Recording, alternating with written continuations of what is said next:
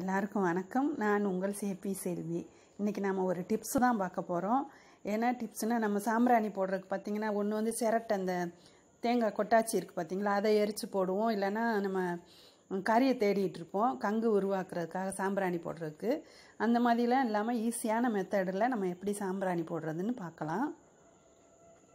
அதுக்கு இந்த மாதிரி சாம்பிராணி கிடைக்கும். அதை வாங்கிக்கோங்க. சாம்பிராணி கட்டி விற்கும் அதை வாங்கிக்கோங்க. அதுக்குள்ளே பச்சை கற்பூரம் சூடம். எது இருக்கோ வச்சுக்கோங்க. நான் வைக்கிறது வந்து பச்சை கற்பூரம். அதை வச்சுட்டு பொருத்தி விட்டுக்கோங்க. அது எரியும் போதே பார்த்தீங்கன்னா அந்த சுற்றி இருக்குது பாருங்கள் அந்த கட்டியாக இருக்கிறதெல்லாம் ஃபுல்லாக கங்காயிரும்.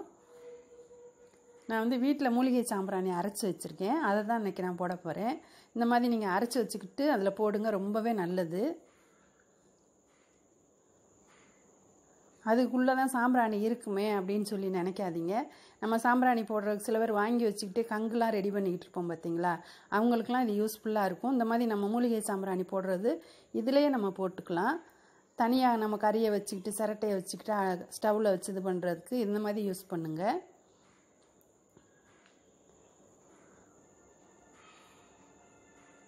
அந்த மெத்தடு உங்களுக்கு அது இல்லாட்டி இந்த மாதிரி கூட நீங்கள் பண்ணிக்கலாம். ஒரு சின்ன அகலில் விளக்கு ஏற்றி வச்சுக்கோங்க. அதில் இந்த கட்டியை நீங்கள் பிடிச்சிங்கன்னா சுற்றி பிடிச்சிக்கிறோம் அதுக்கப்புறமா ஒரு இதில் வச்சுட்டிங்கன்னா அந்த மாதிரி சாம்பிராணி கரட்டியில் வச்சுட்டிங்கன்னா ஃபுல்லாக கங்காயிரும். நீங்கள் சூடம் அந்த மாதிரி இல்லைன்னா இந்த மாதிரி நீங்கள் யூஸ் பண்ணிக்கோங்க.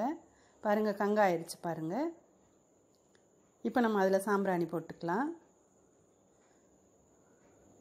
இது உங்களுக்கு யூஸ்ஃபுல்லாக இருக்குன்னு நம்புகிறேன் கண்டிப்பாக நீங்கள் இதை ட்ரை பண்ணி பாருங்கள் அது மாதிரி மூலிகை சாம்பிராணி அரைக்கிறது நான் போடுறேன்.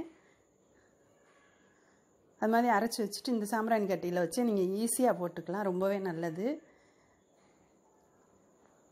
இதை உங்கள் ஃப்ரெண்ட்ஸு ஃபேமிலிக்கெலாம் ஷேர் பண்ணுங்கள் லைக் பண்ணுங்கள் கமெண்ட் பண்ணுங்கள் சப்ஸ்கிரைப் பண்ணுங்கள் நன்றி. வாழ்க வளமுடன்.